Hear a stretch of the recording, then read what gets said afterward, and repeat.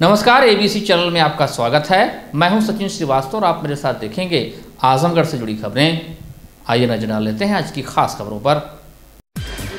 खबर के प्रायोजक हैं, Pind Baluchi express restaurant, near Nagar Palika Chauraha, civil line, Bandha road, Azamgarh. Delhi और पंजाब का जायका, अब आपके शहर में। गोमती ग्रामीण निधि बैंक, निवेश और सिक्योर्ड लोन के लिए संपर्क करें। Paradise international school, Hirapatti, Azamgarh. Admission open, play group, class tenth, CBSE pattern. Sarvodaya public school Harvanshpur Azamgarh admission open और hotel park green Sidhari Azamgarh. Azamgarh ज़िले के अतरौलिया थाने के भैरोपुर गाँव में 31 मई को भारत के रक्षा मंत्री राजनाथ सिंह व भाजपा के वरिष्ठ नेता व विधायक पंकज सिंह के आने की सूचना पर पूरा महकमा तैयारी में जुट गया। राजनाथ सिंह के दामाद राजीव सिंह के घर और पूरे गाँव का सुंदरीकरण हो रहा है। गाँव में जो सड़कें टूटी हुई हैं, उन पर आरसीसी लगाई जा रही है व गाँव की बाग की साफ़ सफ़ाई की जा रही है। मौके पर कार्यक्रम स्थल पर हेलीपैड निर्माण कार्य ज़ोर शोर से जारी है। वहीं साफ़ सफ़ाई के लिए कर्मचारियों को लगाया गया। सुरक्षा के दृष्टिकोण से एनएसजी कमांडो कार्यक्रम स्थल पर पहुँच गए। SP traffic Sanjay Kumar, ADM Anil Mishra उप जिलाधिकारी बूढ़नपुर नवीन प्रसाद, क्षेत्राधिकारी सिद्धार्थ तोमर, भाजपा नेता जयनाथ सिंह ने मौके पर पहुंचकर कार्यक्रम की तैयारियों का जायजा लिया। बताते चले कि सन 1990 में राजनाथ सिंह विपक्ष के नेता थे। उस समय प्रदेश में समाजवादी पार्टी की सरकार थी। प्रदेश के मुख्यमंत्री मुलायम सिंह यादव थे। उसी समय उन्नीस सौ पंचानवे में भैरवपुर गाँव निवासी राजीव सिंह, जो आईएएस थे, राजनाथ सिंह ने अपनी बेटी अनामिका सिंह की शादी राजीव सिंह से कर दी। राजीव सिंह से दो भाई हैं, एक भाई का नाम रोहित सिंह है, जो यूएसए में प्रोफेसर है। एक बहन डॉक्टर प्रीति सिंह है, जो नोएडा में डॉक्टर है। राजीव सिंह के पिता महेंद्र प्रताप सिंह, जो कनाडा में इंजीनियर थे, अब सेवानिवृत्त है। राजीव सिंह की माता सरस्वती सिंह का निधन 19 मई 2023 को हो गया था। इस बात की सूचना पर भारत के रक्षा मंत्री अपनी बेटी के घर भैरवपुर इकतीस मई को आने वाले हैं। बता दें कि राजीव सिंह का मूल निवास स्थान अतरौलिया पुरवा है जो जमींदारी के आरोप उपरांत भैरवपुर में आकर अपना आशियाना बना दिया। माननीय डिफेंस मिनिस्टर के कार्यक्रम के लिए यहाँ पे हेलीपैड तैयार हो गया है। आवश्यक सुरक्षा के इंतज़ाम किए जा रहे हैं और जो उनका नार्म्स है उनकी सुरक्षा तो उसको पूरा किया क्या क्या व्यवस्था की जा रही है? कितने बजे तक रहेंगे? क्या रूट ड्राइवर क्या किया गया इसके बारे में। वो पौने पाँच बजे आएँगे और पाँच बज के तीस मिनट पे तक कार्यक्रम है। रूप से हिंदुस्तान के आजमगढ़ में सिविली डिग्री कॉलेज लोकप्रिय नेता और भारत के रक्षा मंत्री माननीय राजनाथ जी का कार्यक्रम भैरवपुर गाँव में हो रहा है इकतीस तारीख को। हाँ? उसी संदर्भ में हम सब यहाँ इकट्ठा हैं और सिविली यहाँ एक S I V I L I ऐसा कार्यक्रम पारिवारिक कार्यक्रम में आ रहे हैं। तेरहवीं भोज में। और इस नाते हम सबकी भी ज़िम्मेदारी है और भारतीय जनता पार्टी के सारे कार्यकर्ता इसमें उपस्थित रहेंगे। और सुरक्षा विभाग के भी और हमारे ज़िले के सारे अधिकारी भी इसमें व्यवस्था में लगे हैं मनोयोग से। उसी लिए आज हम सब इकट्ठा हुए हैं और वो तैयारी सब पूरी राजनाथ सिंह आपको बेटे जैसा मानते हैं और आप गृह क्षेत्र में भी आ रहे हैं इसके में। निश्चित रूप से ये तो पूरा प्रदेश जानता है जिला जानता है कि माननीय राजनाथ जी मुझको बेटी की तरह मानते हैं। और हम सबका सौभाग्य है कि इस सतरौलिया विधानसभा की धरती पर उनका पदार्पण हो रहा है। और हम लोग बड़े ही खुशी मन में है कि उनका स्वागत करेंगे और उनका जो भी कार्यक्रम हो उसमें पूरा समय दे करके उनके साथ आजमगढ़ में हिंदी पत्रकारिता दिवस के अवसर पर सिविल लाइन स्थित तमसा प्रेस क्लब में गोष्ठी का आयोजन किया गया, जिसमें पत्रकारों ने इस दिन के महत्व के साथ हिंदी पत्रकारिता के प्रभाव और चुनौतियों पर चर्चा की। पूर्वांचल विश्वविद्यालय जौनपुर में प्रवक्ता दिग्विजय सिंह राठौर ने बताया कि वर्ष 1826 में आज ही के दिन पंडित जुगल किशोर ने उदंत मारतंड नाम से पहले हिंदी के समाचार पत्र का प्रकाशन किया था। इसलिए आज के दिन को हिंदी पत्रकारिता दिवस के रूप में मनाया जाता है। तब से लेकर आज तक करीब 200 वर्ष के इतिहास में हिंदी पत्रकारिता ने कई पड़ाव पार किए। समाचार पत्रों से लेकर वेब पत्रकारिता ने नए आयाम हासिल किए। लोगों की उम्मीदों पर खरे उतरे। स्थानीय समाचारों को वैश्विक स्तर पर तेज़ी के साथ लाया गया। इसके अलावा दिग्विजय सिंह राठौर ने पत्रकारों के लिए कार्यशाला की ज़रूरत पर भी बल दिया। उन्होंने कहा कि तमाम नए लोग पक- पत्रकारिता के माध्यम से इस क्षेत्र में जुड़ रहे हैं, लेकिन उनको शुरुआती या ज़रूरी ज्ञान नहीं है, जिसके लिए उनको प्रशिक्षित होना ज़रूरी है। पत्रकारिता के लिए क्या क्या बुनियादी जानकारी होनी चाहिए, इसके बारे में उन्होंने बिंदुवार समझाया। कार्यक्रम का संचालन कर रहे वरिष्ठ पत्रकार विजय यादव देवव्रत ने कहा कि लोगों को पत्रकारिता से काफ़ी उम्मीदें हैं। ये पैसे कमाने का ज़रिया नहीं, बल्कि आम लोगों के उद्देश्यों को आवाज़ को उठाने का सशक्त माध्यम है। इसके अलावा अशोक वर्मा, धमेंद्र श्रीवास्तव और रविन्द्र राय सचिन श्रीवास्तव रामजी चंदन, मनोज जायसवाल रत्न प्रकाश त्रिपाठी ने भी संबोधित किया। गोष्ठी में अंबुज राय, अजय मिश्रा, अभिमन्यु शर्मा, सुभाष सिंह, देवव्रत श्रीवास्तव वेद प्रकाश सिंह, लल्ला, आलोक सिंह, प्रशांत राय, संतोष उपाध्याय, शीतला त्रिपाठी, गौरव श्रीवास्तव रामशकल यादव, अनुराग यादव, दीपक प्रजापति, ज्ञानेन्द्र छोटू समेत अन्य लोग शामिल रहे। के दिन 1826 में कलकत्ता से उदंत मारतंड नाम का समाचार पत्र प्रकाशित हुआ था। और हिंदी पत्रकारिता की ये विकास यात्रा आज 1826 से 2023 तक पहुँची है। इस बीच में हिंदी पत्रकारिता ने बहुत सारा विकास किया है और बहुत सारे लोगों के अनुरूप ये अपने कार्य को कर पाई है। आज web, electronic media, print media, बहुत सारे ऐसे माध्यम हैं जो हिंदी पत्रकारिता को समृद्ध बना रहे हैं और नई पीढ़ी जो है इससे बहुत बड़े स्तर पर जुड़ रही है। जहाँ तक हिंदी पत्रकारिता की बात है तो हिंदी पत्रकारिता ने समाज को एकजुट रखने में और आम आदमी के मुद्दों को राष्ट्रीय स्तर तक पहुँचाने में अपनी बहुत बड़ी भूमिका अदा की है। और आज के समय में जो क्षेत्रीय वेब पत्रकारिता है, इसका एक नया दौर चल रहा है और क्षेत्रीय वेब पत्रकारिता हिंदी भाषा के द्वारा जो आम आदमी है, जो ग्राउंड ग्राउंड लेवल की जो बात है, उसको वैश्विक स्तर पर पहुँचा रही है। ये बहुत सुखद है और जहाँ तक पत्रकारिता की बात है, आने वाला समय हिंदी पत्रकारिता के लिए और भी सुखद होगा, और भी अच्छा होगा और ऐसे ही फलती फूलती रहेगी हिंदी पत्रकारिता, ऐसी मुझे पूरी उम्मीद है। आप सभी लोगों को बहुत बहुत शुभकामना है कि पत्रकारिता बेरोजगारी दूर करने का कोई माध्यम नहीं है। ये एक जोखिम का काम है और समाज को हमसे बहुत उम्मीदें रहती हैं। कभी कभी हम उनकी उम्मीदों पर खड़े भी नहीं उतर पाते हैं। लेकिन हमारी कोशिश होनी चाहिए कि हम जनता से जुड़ करके उनकी क्या अपेक्षाएँ हैं, उनकी क्या समस्याएँ हैं, उनको हमको शासन और प्रशासन तक पहुंचाना चाहिए। क्योंकि हम एक माध्यम हैं। दोनों के बीच की एक कड़ी है और इस कड़ी का जब हम किन्हीं कारणों से दुरुपयोग हो जाता है या सही से हम उपयोग नहीं करते हैं तो गाली सुनने का काम करते हैं। वर्ल्ड फ्रीडम इंडेक्स में सर दिन पे दिन गिरावट होती चली जा रही है आज हम निचले पायदान रहे हैं। तो यह किस तरह से आज के युवा पीढ़ी इसको आगे बढ़ा सकती है? शीर्ष स्थानों पर हम पहुँच सकते हैं भारत के निश्चित तौर से मैं वही बात कर रहा हूँ कि आज जो भारत की पत्रकारिता एक सौ इक्यासीवें स्थान पर है। तो कहीं कहीं हमारी कुछ कमियाँ हैं जिसकी वजह से हैं पूरे विश्व में जहाँ हम विश्व गुरु बनने का ख्वाब देख रहे हैं, हम फाइव ट्रिलियन इकोनॉमिक का देश बनना चाहते हैं तो निश्चित तौर से हम अपने प्रेस को जब तक पूरी आज़ादी नहीं देंगे तो ये संभव नहीं हो पाएगा। उसके लिए हमको आपको काम करना पड़ेगा। और निश्चित तौर से आज के युवाओं के सामने बहुत चुनौतियाँ हैं। उनको अपने परिवार को भी चलाना है, उनको अपने सामाजिक दायरे को भी देखना है और इसी में रह करके काम भी करना है। कभी कभी स्थिति यह आ जाती है कि आपका कोई बहुत करीबी है और उसी के खिलाफ कोई समाचार आ गया, हम आप उसमें क्या करेंगे? तो उसमें निश्चित तौर से जो सही बात हो, उसको रखिए और दोनों पक्षों को रखिए। तो आपकी स्थिति बहुत क्लियर रहेगी। लेकिन हत्या के मुकदमे में सुनवाई पूरी करने के बाद अदालत ने चार आरोपियों को आजीवन कारावास तथा प्रत्येक को पच्चीस हज़ार रूपए अर्थदंड की सजा सुनाई है। ये फैसला अपर सत्र न्यायाधीश फास्ट ट्रैक कोर्ट नंबर दो रमेश चंद्र की अदालत ने मंगलवार को सुनाया।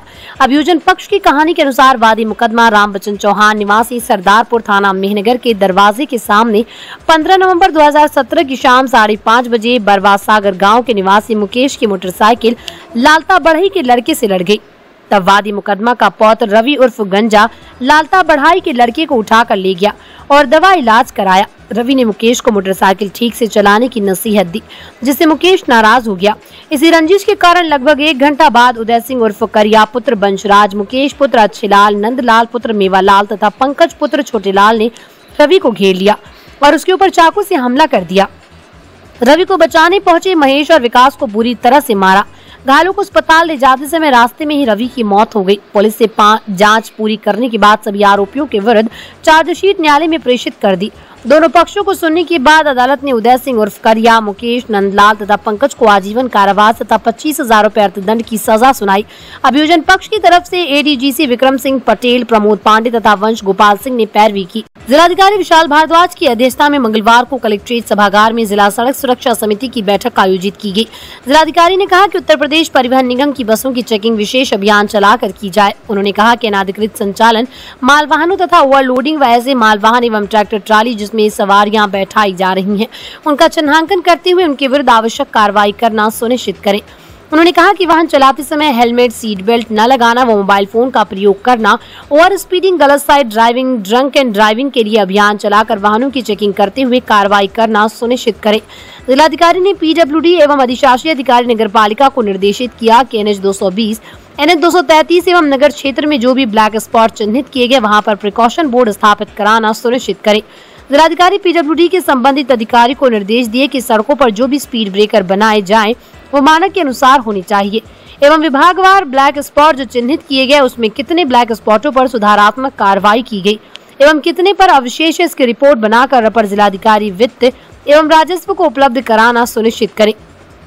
इसी के साथ ही जिन सड़कों पर दुर्घटनाएँ ज़्यादा हो रही हैं या संभावना हो, उनको ब्लैक स्पॉट में चिन्हित करते हुए प्रतिमा रिपोर्ट तैयार कर अपर जिलाधिकारी को उपलब्ध कराना सुनिश्चित करें। उन्होंने आरटीओ को निर्देश दिए कि जनपद में कितने रिक्शा पंजीकृत हैं एवं कितने रिक्शा बिना पंजीकृत हुए चल रहे इसकी रिपोर्ट उपलब्ध कराएँ। उन्होंने ईओ नगर पालिका को निर्देश दिए कि शहर क्षेत्र में जिन स्थानों पर टेंपो टैक्सी स्टैंड बनाए गए, उन्हें निर्धारित स्थानों पर वाहनों की पार्किंग कराना सुनिश्चित करें। जिलाधिकारी ने निर्देश दिया कि जनपद में जितने भी दुर्घटना संभावित ब्लैक स्पॉट उनको चिन्हित करते हुए दुर्घटना रोकने की प्रभावी कार्रवाई पर बल दिया जाए एवं अवैध कट को बंद कराएँ। उन्होंने कहा कि ओवर स्पीडिंग के विरुद्ध प्रभावी परिवर्तन कार्रवाई सुनिश्चित की जाए। आजमगढ़ के जैनपुर कोतवाली क्षेत्र के आलमपुर गाँव में रौना पार थाना क्षेत्र के तुरकौली गाँव में बारात दलित बस्ती में आई थी। बारात लगभग नौ बजे आलमपुर पहुँची और धूमधाम से द्वार पूजा के बाद घरातियों ने बरातियों का आदर सत्कार किया। देर रात्रि विधि विधान के साथ विवाह संपन्न हुआ। विवाह के बाद पर लड़का कोहबर में जाने से इनकार कर दिया। बाहर दरवाजे पर खड़ी गाड़ी में बैठा रहा। लड़की जब आई तो गाड़ी में बैठकर चली गई। जब दूल्हे की गाड़ी आधे रास्ते पहुँची तो लड़के ने फ़ोन कर लड़की के परिजन से कहा कि दहेज में अंगूठी, माला नहीं मिला और वो लड़की को पुनः लेकर ससुराल पहुँच गया। लड़की पक्ष द्वारा काफ़ी मान मनोवल की गई, लेकिन दूल्हा मानने को तैयार नहीं हुआ। आक्रोश में आकर लड़की पक्ष वालों ने लड़के को बंधक बना लिया। लगभग दो बजे मौके पर पुलिस पहुँची और लड़के को छड़ाकर दोनों पक्षों को लेकर थाने लाई। जैनपुत्र जिलाजी निवासी तुरकौली थाना रौनापार की बारात पूजा पुत्री आत्माराम निवासी आलमपुर थाना जीएनपुर 28 मई को रात्रि लगभग 9 बजे पहुँची। शादी की सभी रस्में धूमधाम से की गई। सुबह जब कोहबर की रस्म का समय आया तो दूल्हा कोहबर में जाने से मना कर दिया और जाकर गाड़ी में बैठ गया। दूल्हा दुल्हन को लेकर चला गया, लेकिन दरवाजे पर रखा सारा सामान लड़के वाले नहीं ले गए। आधे रास्ते जाने के बाद दूल्हे ने दुल्हन के परिजनों को फ़ोन कर कहा कि दहेज में अंगूठी माला नहीं मिला है और वो लड़की को पुनः लेकर ससुराल पहुँच गया। लड़की पक्ष द्वारा काफ़ी मान मनोवल की गई, लेकिन दूल्हा मानने को तैयार नहीं हुआ। लड़के पक्ष वाले ने लड़के को बंधक बना लिया। लगभग दो बजे मौके पर पहुँची पुलिस और लड़के को छड़ाकर दोनों पक्षों को लेकर थाने आई। थाने में मामले में लेकर जमकर पंचायत चली। लड़की पक्ष वाले छह लाख रूपए सहित विवाह में हुए खर्च की मांग करने लगी। वहीं लड़की अब अपने ससुराल जाने से इनकार कर रही है। बता दें कि छह माह पूर्व ये शादी तय हुई थी। गोद भराई बरच्छा आदि लड़की के पिता ने सामर्थ्य के अनुसार किया। नई दिल्ली में एशिया लीडरशिप अवार्ड समारोह का आयोजन किया गया। इस सम्मान समारोह में विभिन्न क्षेत्र के अध्यक्षता करने वाले प्रतिनिधि अध्यक्ष को सम्मानित किया गया, जिसमें मुख्य रूप से बिज़नेस हेल्थ केयर और एजुकेशन शामिल थे। मुख्य अतिथि बॉलीवुड अभिनेत्री एवं पूर्व राज्यसभा सांसद श्रीमती जयापर्दा के शुभ हाथों से active life style club Azamgarh को best life style coach of the year का पुरस्कार मिला। एक्टिव लाइफ स्टाइल का प्रतिनिधित्व कर रहे active world team Anis Siddiqui को अवार्ड प्राप्त करने का अवसर मिला। पुरस्कार मिलने से उनके शुभ चिंतकों में हर्ष व्याप्त है। इस मौके पर अनीस सर ने कहा कि हमें ये जो पुरस्कार मिला है, हम उसके लिए सभी ग्रुप लीडरों का आभार व्यक्त करते हैं और उन्होंने बताया कि हम अपने ऑनलाइन और ऑफलाइन क्लबों के माध्यम से पूरे भारत और विदेशों में सेवा दे रहे हैं। हमारा मिशन लोगों को स्वास्थ्य और सक्रिय जीवन जीने के लिए प्रेरित और सशक्त बनाना है।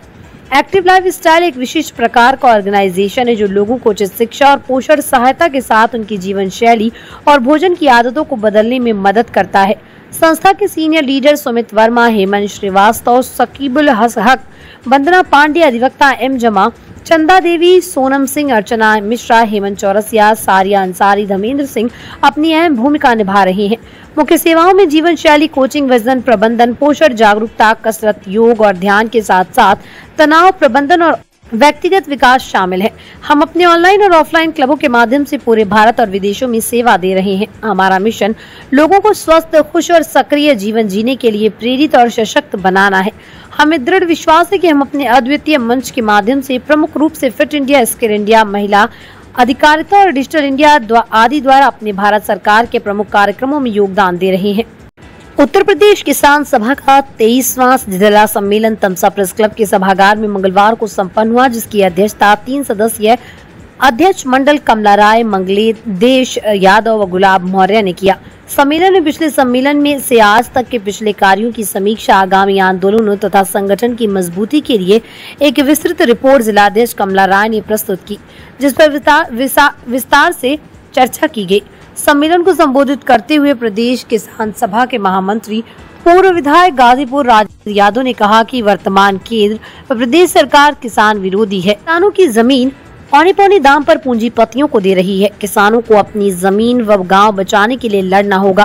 प्रदेश अध्यक्ष इम्तियाज़ बेग ने कहा कि आने वाले समय में किसान सभा एमएसपी की गारंटी, दस हज़ार रूपए मासिक पेंशन, महँगाई, किसानों की कर्ज माफ़ी आदि सवालों पर गांव-गांव जाकर जागरण करके व्यापक स्तर पर आंदोलन चलाएगी और लोगों को अपने हक हकूक के लिए जागरूक करेगी।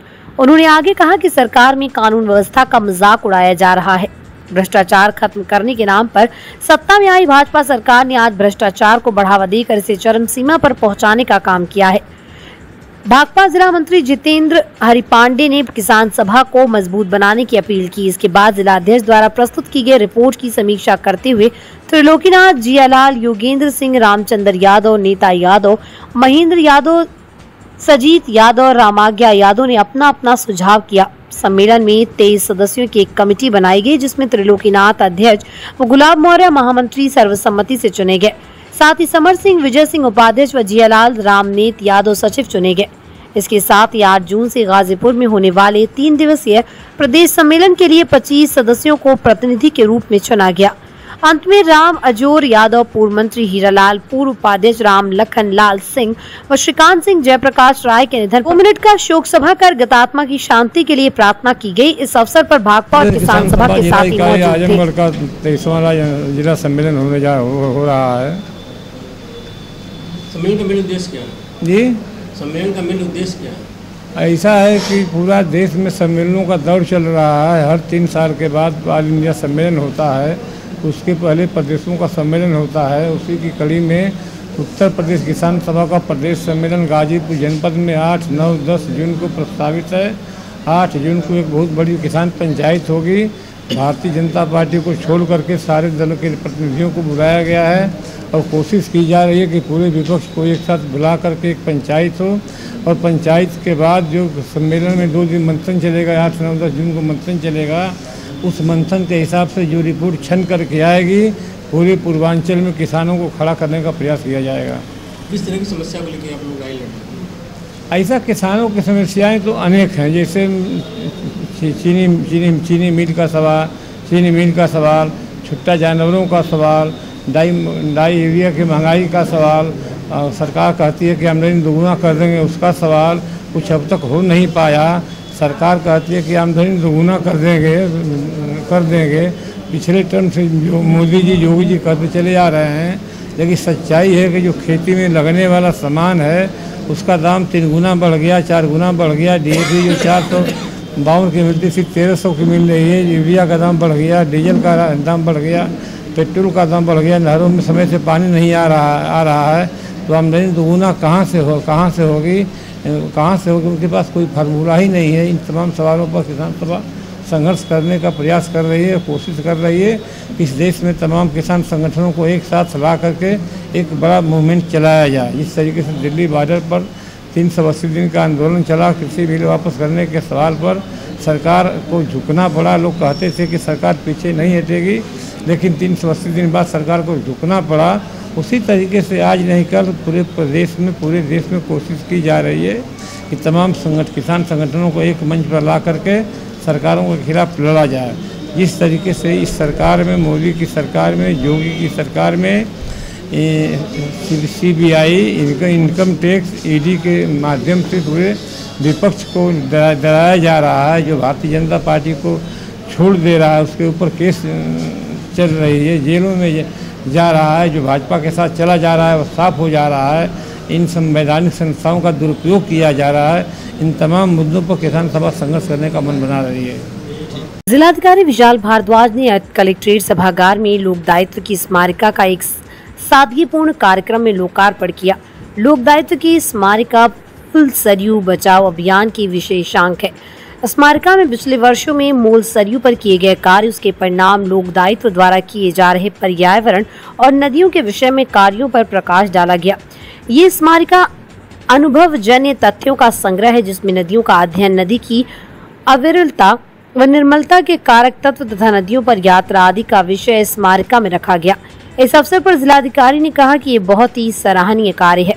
इस विषय के व्यवहारिक अनुभव को लोक दायित्व ने अपनी स्मारिका में स्थान दिया। स्मारिका के संपादक भवन ने बताया कि अब तक के अनुभवों को इस स्मारिका में इसलिए रखा गया है कि नदियों एवं पर्यावरण पर काम करने वाले लोगों के लिए ये काम आए।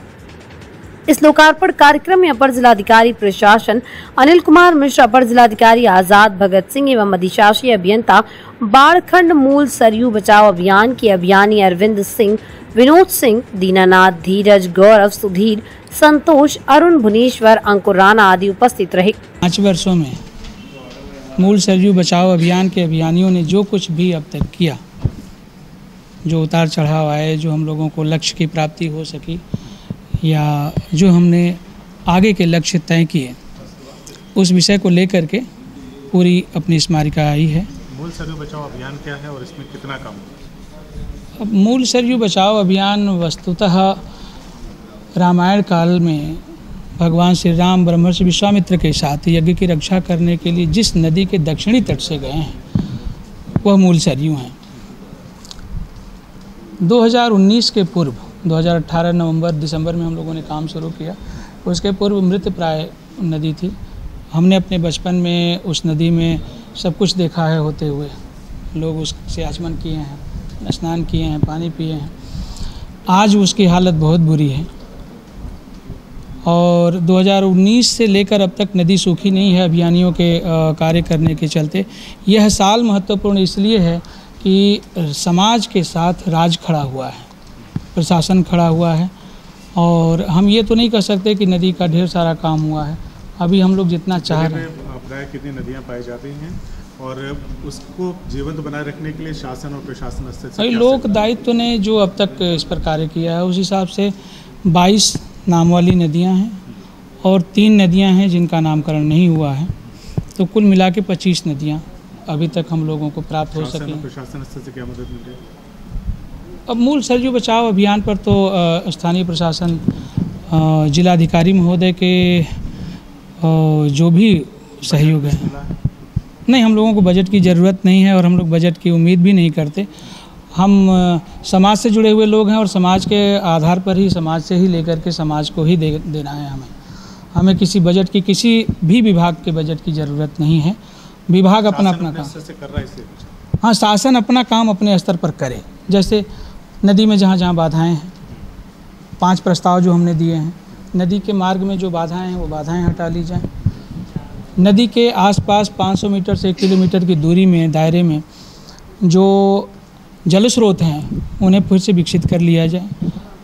नदी के तट प्रांत पर रामायणकालीन और स्थानीय पौधे विकसित कर दिए जाएँ, पंचवटियाँ लगा दी जाएँ, नक्षत्र वाटिकाएँ लगा दी जाएँ और नदी का जो क्षेत्र है नदी की ज़मीन है, जिस पर इंक्रोचमेंट हुआ है, अनाधिकृत अतिक्रमण हुआ है, उस अतिक्रमण को खाली कराते हुए प्रशासन ये तय करे कि नदी के आसपास के जो तट प्रांत हैं, वो कभी किसी भी हालत में परिवर्तित नहीं होगा। जिस जगह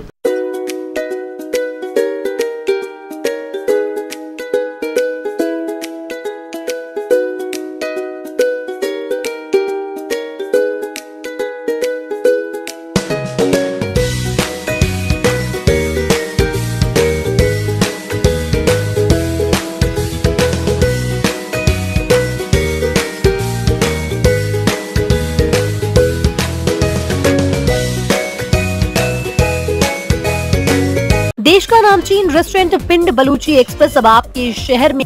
Near Nagar Palika Chauraha civil line Bandha road, Azamgarh. 11 राज्य के 18 शहरों में बासठ रेस्टोरेंट्स, धूम मचाने के बाद तिरसठवा रेस्टोरेंट आजमगढ़ में।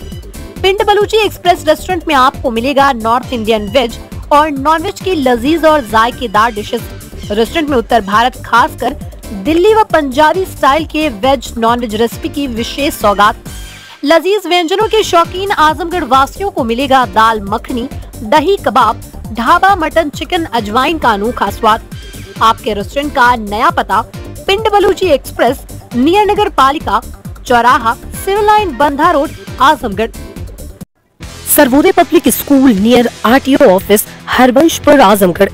Affiliated to C B S E admission open for classes nursery to ninth and eleventh dedicated, experienced and well-qualified staff, computer science from class 1st onwards, playground with lush green campus, yoga, art and craft, drawing, music, dance classes, separate composite laboratories, separate classes for girls, well-stocked library, hostel facility available, free health checkup in Sarvodaya Hospital, Hotel Par Green Hydel Choraha, Siddhari, Azamgarh. स्वच्छ और आरामदायक AC and non AC rooms 24 hour room service north Indian south Indian Chinese Italian veg and non veg लजीज और जायकेदार व्यंजन उचित rate पर उपलब्ध।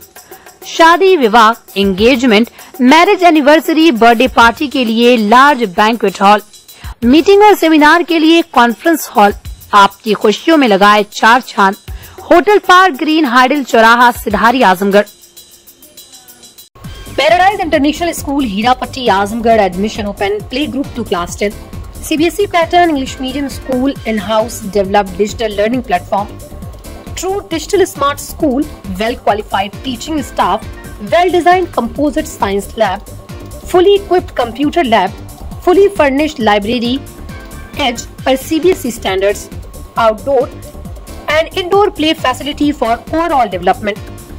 Our branch Kids Paradise Fun of Learning Playgroup section of Paradise International School to 100 plus design activity kits and play zone for Kids Paradise Playgroup section